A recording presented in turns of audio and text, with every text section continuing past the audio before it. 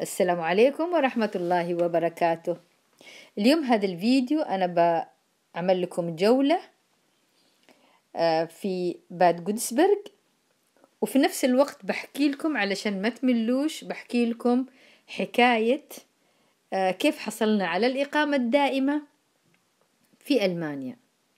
طبعا مثل ما قلت لكم في, الم... في الفيديو السابق إنه آه، رحت لقسم الأجانب في البلدية على أساس إنه يعملون إحنا إقامة بعد ما انتهت الخمس السنوات. فرفضت وقالوا نحن إنه إنه إحنا لازم نرجع البلد لأنه نحن جينا بال Green Card وال Green Card لمدة خمس سنوات فقط. طبعا أنا روحت وحكيت لزوجي وبعدين كنا من سابق من قبلها تقريبا بسنة تقريبا. نحن كنا قد اتعرفنا طبعا هذا الموضوع ما حكيت لكم شياته من قبل ان إحنا كنا قد اتعرفنا على عائلة عراقية في منطقة شبش اللي كنا ساكنين فيها. وهذه المرة تعرفت عليهم ما دقيت عليهم الباب مثل المرة السابقة لا. هذه المرة كان تعرفي بها بطريقة ثانية. طبعا الأخت اللي تعرفت عليها كانت زميلة الدراسة في الكورس حق الألماني. كنت أدرس ألماني في كورس وكانت هذه الأخت إجت جديدة إلى ألمانيا وتعرفت عليها. كانت من العراق وكنا آه كنا تقريبا في نفس السن ونفس لدرجة إن إحنا كنا الثنتين مدرسات في بلداننا. وبرضه كنا مدرسات لغة إنجليزية. يعني كان في تقارب بيننا كثير من ناحية الدراسة التعليم الثقافة يعني كثير كنا متقاربين. فصارت بيننا صديق صداقة قوية يعني وتعرفنا على بعض وكنا دايما نطلع مع بعض وكذا. وبعدين تعرفوا أزواجنا على بعض وصرنا في خلال هذا العام اللي تعرفنا عليهم فيه في, في نفس المنطقة في شبش آه تغيرت طبعا حياتي كثير وكنا دايما نطلع مع بعض. المهم هذا الأخ العراقي اللي تعرف عليه زوجي آه قال لنا إنه المفروض بعد الخمس سنوات ما تجددون الإقامة ولكن من حقكم أنكم تكون عندكم الإقامة الدائمة في ألمانيا. يعني المفروض بعد الخمس السنوات اللي قضاها زوجي في ألمانيا وأنه خلال الخمس السنوات كان يعمل في الم... بدون انقطاع. كذلك الشيء الثالث إنه كان يدفع طبعا الضرائب بما إنه كان يشتغل في شركة وكانت تتحول طبعا معروف هنا في ألمانيا إنه الضرائب تتحول من الشركة يعني. وكان خلص عدت عليه الخمس سنوات وخلال هذه الخمس سنوات كان يعمل فيها. لذلك كان من حقنا أن يكون لنا الإقامة الدائمة. فقال لنا إنه هذه قال لنا إنه في البلدية قالوا لكم ارجعوا وخلاص انتهت الإقامة حقكم لأنه هم عارفين إنه القانون يقول إنه بعد الخمس سنوات من الإقامة في ألمانيا مع العمل المستمر من حق الشخص قانونيا إنه تكون عنده الإقامة الدائمة. ها هنا عرفنا السر. إذا عرفنا ليش كانت تقول لي نحن رجعوا على أساس إن إحنا مش فاهمين ونحن كنا رايحين نبغى بس سنتين. على أساس نكمل يعني نفكر إنه بيعطونا إحنا على سنتين سنتين. ففهمنا إنه إنه هي قصدها إنه نروح قبل ما نعرف إنه من حقنا الإقامة الدائمة. طيب وكيف العمل الآن؟ وهي أصلا مش راضية تعطينا إحنا الحل. فقلنا لصديقنا هذا صديق زوجي فقلنا له قال له زوجي طيب كيف كيف الحل يعني؟ كيف نسوي؟ نحن نحن ما نعرف يعني أول مرة نجي على ألمانيا وما عندنا أي خبرة بهذا الموضوع. فقال له من الأفضل أنكم تنتقلون آه، من هذه المدينة من شبش اللي هي يعني آه، في المد... هذه اللي سكننا فيها انتقلوا إلى مدينة أفضل يكون فيها التعامل مع الأجانب بشكل أفضل. طيب نحن مش فاهمين يعني ولا عارفين أي المدن يعني. طول فترة الخمس سنوات هذه ونحن قاضينها في هذه القرية يعني ولا اختلطنا بأحد ولا شيء ولا نعرف. يعني كانت الأماكن بالنسبة لنا غريبة يعني حتى لدرجة إنه يمكن مرتين أو ثلاث مرات أنا سافر رحت على كل بالقطار رحنا شوية كده جنب الدم وروحنا. يعني ما فيش عندنا أي خبرة بهذا الموضوع. المهم فكيف سأل آه يعني سأله وقال له كيف نسوي؟ فقال له أنا بسألك على منطقة تكون أفضل آه من حيث التعامل مع الأجانب. فسأل قالوا له إنه سأل بعض أصدقائه يعني لأنه هو قدو من زمان هنا وكذا. آه سأل أصدقائه فقالوا له إنه بون هي أفضل مدينة. اذا خلاص قررنا لأنه كان باقي لنا إحنا يمكن ستة شهور وبتنتهي الإقامة. فقررنا على طول قدمنا Kündigung لل للبيت للشقة وبدأنا نبحث عن شقة. طبعا على طول حصلنا شقة. حصلناها في في Bonn-Beuel في مدينة Bonn-Beuel. لقينا شقة أخذنا شقة طبعا أوسع. بما أن إحنا كنا عايشين بغرفة وصالة قلنا الأفضل أن إحنا نلاقي شقة أفضل أكبر. فأخذنا غرفتين وصالة وانتقلنا إلى مدينة بومبويل. وطبعا كانت بالنسبة لنا مدينة أكبر وأفضل يعني. والمهم انتقلنا لهناك وبدأنا في إجراءات. أهم شيء يعني كان همنا أهم شيء صحيح إن إحنا يعني لما انتقلنا يعني كانت تكلفة علينا يعني تكلفة النقل وتخلصنا من بعض الأشياء و وكانت يعني يعني تعرفون مسألة النقل من مدينة لمدينة كيف يكون صعب. المهم انتقلنا. أهم شيء كان عندنا نحن وأهم شيء بالنسبة لنا هي الإقامة. نحن نلاقي إقامة في, في ألمانيا. وكمان زي ما قلت لكم انتبهنا إلى أنه مفروض نقدم إقامة دائمة وليست سنتين. هذا ما نبهنا به صديق زوجي. المهم رحنا لعند البلدية بعد ما استقرينا. وطبعا كان مختلف مختلف التعامل معاهم.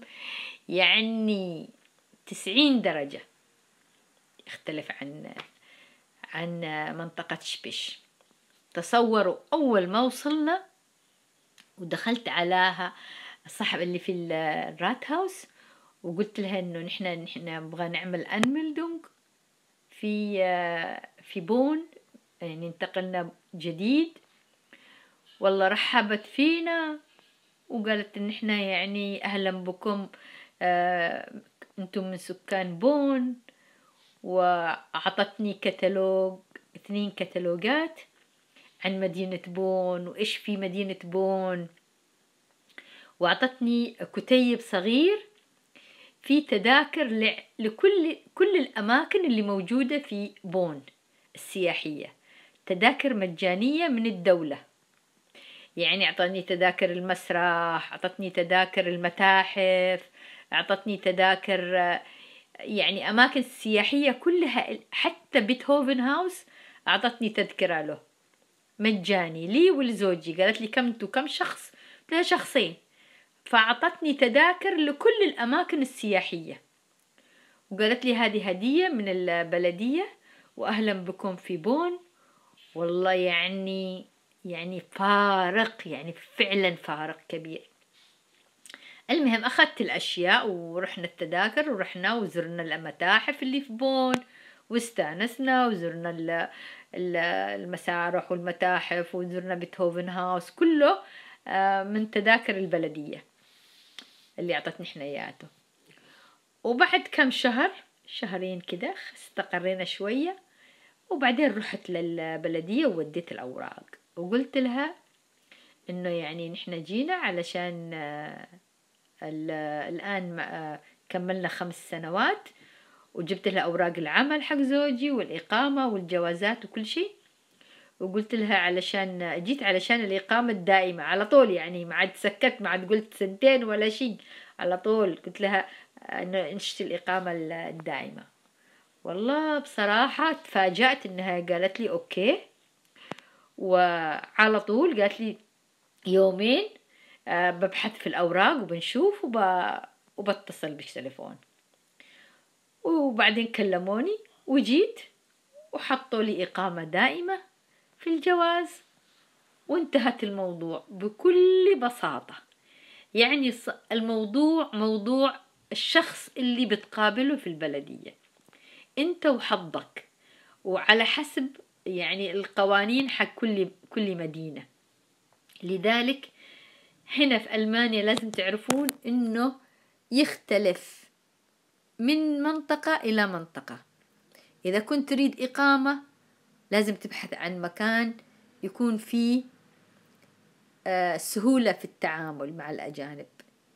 إنه يعني ممكن يتعاملوا معاك يعني بمساعدة يعني يساعدوك. وفي أماكن مستحيل يساعدوا أول ما تحسوا إنه يعني أنا أنصح اللي يجي يريد إقامة أو شيء إنه يبحث قبل لا يقدم في أي مكان يسأل على هذا المكان. هل هذون في هذه البلدية؟ هل يقبلون على الإقامات؟ كيف كيف التعامل معهم؟ لأنه شيء مهم جدا إنك تسأل عشان تلاقي اللي أنت تريده. فكان هذا السبب إنه أولا إحنا انتقلنا إلى آه، بون. وطبعا تعرفت في بون على آه، أشياء كثيرة حصلت لي. وأشياء وقصص كثيرة آه، خلال العشرين السنة الماضية. طبعا أنا بحكي لكم في كل مرة إن شاء الله بحكي لكم على شيء لكي تستفيدوا من تجربتي اللي أنا حصلت لي خلال آه، آه، وجودي هنا في ألمانيا في العشرين السنة الماضية وتستفيدوا منها. المهم إنه زي ما قلت لكم أنا أهم شيء إنكم آه، تسألوا على الموظفين كيف تعاملهم مع الأجانب في كل في أي بلدية قبل أي شيء. فخلص أخذنا الإقامة الدائمة طبعا وطبعا استمرينا في في السكن فيه. وكانت طبعا هذه أول مرة أجي على بومبويل وبومبويل طبعا أنتم عارفين إنها مدينة قريبة يعني مو قريبة بينها وبين بون بون ال Zentrum ال center يعني بينها وبين ال center مجرد جسر. فكان سهل علي إني آه، أنتقل آه، آه، يعني أكون أعمل shopping ولا أطلع أتنزه في بون. في في العاصمة يعني العاصمة عاصمة ألمانيا الغربية سابقا. فكان بصراحة بالنسبة لي نقلة يعني نقلة نوعية ما قد حصلت. يعني من قرية صغيرة إلى إلى إلى بون. ولكن آه، طبعا آه، النقل ما كان برضو صعب آه، سهل يعني ما كان سهل أبدا. يعني تخيلوا إنه صحيح إنه صح انتقلنا بس كانت في مشاكل كثيرة واجهناها. يعني مثلا نحن لما كنا في هذه المدينة الصغيرة كنا ساكنين في شقة زي ما قلت لكم من قبل إن إحنا أخذوها جابوها الشركة آه، استأجروها الحسن سأل زوجي ساعدوه على أساس يأجر هذه الشقة. وكانت الشقة مثل ما قلت لكم إنه كانت آه، مكان ألمان وكذا. كلهم فيها سكان ألمان. طريقة الإيجار اللي كان في هذه الشقة إنهم لما سلموا الشقة لزوجي سلموها عبارة عن آه، جدران حتى الورق الحائط أو الطلاء مش موجود فيها. يعني شفتوا الجدران المقشرة؟ كذا مقشرة؟ كذا. وكان حتى اللمبة التريك الضوء ما في يعني دخلنا دخلنا أو بالأصح زوجي دخل عليه لأني أنا ما كنت موجودة دخل على المكان آه إيش أقول لكم؟ صحراء. يعني فاضية. فكان آه طبعا آه كنا قد عملنا ورق الجدران وركبنا ستاير واشترينا المطبخ وكنا عاملين أو اشترينا الآتات. كل شيء يعني كان كل هالشقة جاهزة. فكان طبعا النقل وكان نظام الشقق. طبعا هذا لازم تنتبهوا لها بحكاية الشقة. يعني لما أي واحد ياخذ شقة ينتبه. يعني آه كانت الشقة زي ما قلت لكم دخلناها بهذه الطريقة وكان مطلوب مكتوب في العقد إن إحنا لازم نسلمها بنفس الشكل يعني بنفس الطريقة. يعني كان دخولنا للشقة عملنا زي ما قلت لكم ورق الحائط وعملنا اللمبات وكل شيء. فلما طلعنا قالوا لنا الشركة لازم تبعدون ورق الحائط وتبعدون كل شيء وتعطون تسلمون نحن إياها مثل ما استلمتوها. يعني تخيلوا يعني إن تكون الشقة يعني كلها ورق حائط ورق حائط جديد ونظيف ويقول لك ابعدوه. صعب فعلا كان صعب. طبعا ومن اللي قام بالمهمة؟ طبعا أني. والله رحت وبللت الجدران. قلت لهم كيف شفت الطريقة كيف تستعتمل وبليت الجدران بالماي ونزعت ورق الحائط كله ونظفته ورجعته جديد. بس تعبت كثير تعبت على بال ما نزعت كل شيء من الجدران. وحتى لما أجوا بعدين بعد يوم كده بعد كم يوم أجوا قالوا علشان يشيكوا ويشوفوا إذا كان الشقة مثل ما استلمناها أو لا. طبعا وصلوا والشقة قدها فاضية مغارة. دخلوا يتفرجوا وكده. لا في هناك في حاجة بسيطة من هنا طلعيها. في آه شوية كده عند الحمام مدري شو. في حاجة كده بسيط يعني شيء غير معقول. يعني اللي يأجر من شركات بهذه الطريقة بصراحة يعني لازم ينتبه. فانتبهوا وانتبهوا وانتبهوا. تأجرون شقة لازم تقرؤون العقد وتشوفون إيش المطلوب لأن فعلا تعبوني وتعبت يعني لحد ما قبلوا يستلمون الشقة. رغم إنه ما فيها شيء بس مجرد إنه طلعي الورق بعدي الورق يعني أشياء آه يعني حاجات بسيطة يعني. بس المهم أنا بس أحاول أنا أقول لكم على أساس إنه لما تأجرون شقة انتبهوا إنه ما, ما يكونش التسليم زي ما أنا استلمتها يعني. حاولوا إن تقولون نحن نستلمها زي ما آه يعني نسلمها لكم من دون مثلا ما نعمل أي شيء فيها أو يعني أفضل. المهم نحن استلمناها آه مغارة ولازم كنا نسلمها مغارة يعني حتى بورق الحائط ما يبغونه. ومرت الأيام واستلمناها سلمناهم الشقة وعشنا فترة طويلة في بون و